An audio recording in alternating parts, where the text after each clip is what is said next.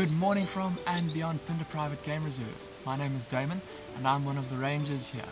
And today we're going to be having a look at another skull to help us understand how the animal works.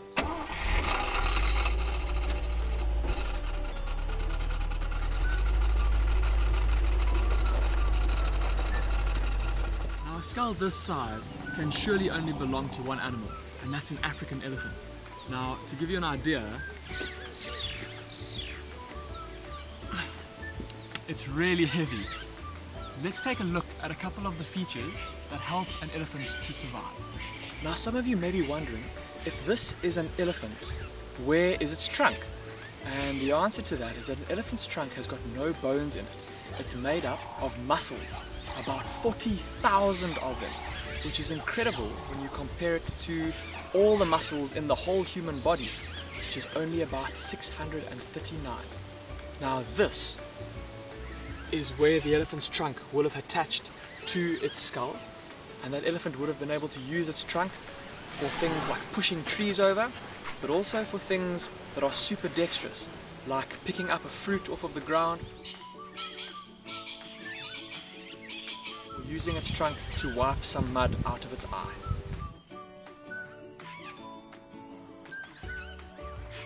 in addition to helping to feed, this elephant also would have been able to use that trunk to suck up water to drink.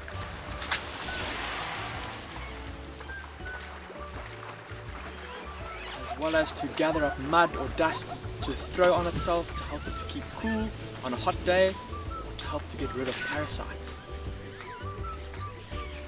And lastly, it's important to remember what a trunk is, and that is a specially modified nose. And with a nose that big, you can only imagine how good this elephant's sense of smell must have been. And this is where the air passages would have been into the elephant's skull from its trunk. So this is where it would have breathed through and where it would have smelled through. And an elephant's sense of smell is so good that some scientists believe it's the best sense of smell in the animal kingdom and that elephant would have used its sense of smell to help it to find food and water and other elephants.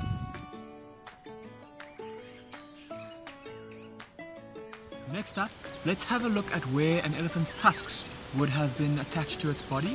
And to do that, we're going to need to flip the skull over.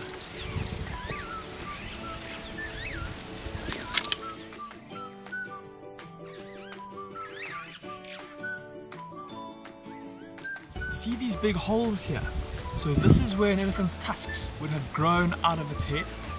And of course a tusk is basically just a modified incisor tooth of an elephant. So your incisor teeth are these ones here in the front. And the tusk would have grown out from here and the tusk would have grown throughout the elephant's life from when it was very small up until the moment just before it died. And the tusks may have been long, they might have been short, they might have been curved, they might have been straight. Elephants sometimes have no tusks, sometimes they have one tusk, and sometimes they even have tusks that look completely different to each other. It all depends on their genetics. And what this elephant would have used his tusks for is he would have used them for fighting with other elephants. He would have used them to help him dig for roots and to scrape bark off of trees to eat and even to help him clean bits of dirt off of grass that he plucked up out of the ground before he put it into his mouth. Let's take a closer look at this elephant's very special molar teeth.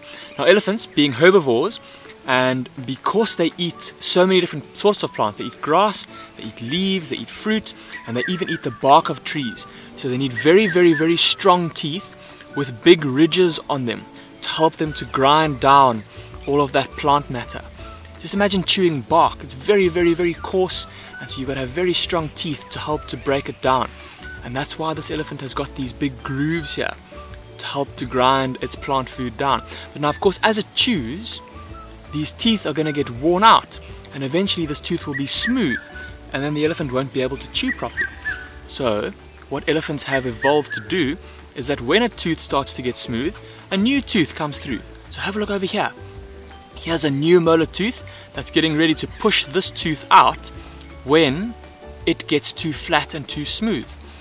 And that will help the elephant to make sure that it doesn't get to a stage where it can't chew its food properly. But now an elephant only has six sets of these molar teeth. So when it gets to set number six, it doesn't have any more teeth to replace the old ones.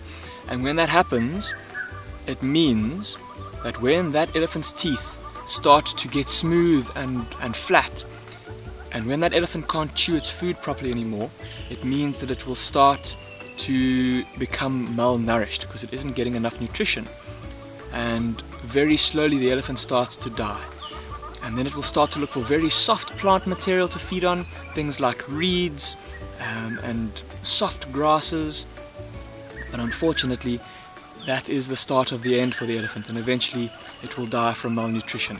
And so normally that happens at about 60 years of age, and it's quite a neat little mechanism, if you will, that nature has almost provided to ensure that the biggest animals out here that don't really have very many natural predators don't overpopulate the earth. I hope that that's given all of you some useful insight into how an elephant lives and how it behaves. Of course, understanding animal behavior is one of the most important steps to becoming a ranger. So thank you for joining us this week and we'll see you next time with another animal skull and another episode of How an Animal Works.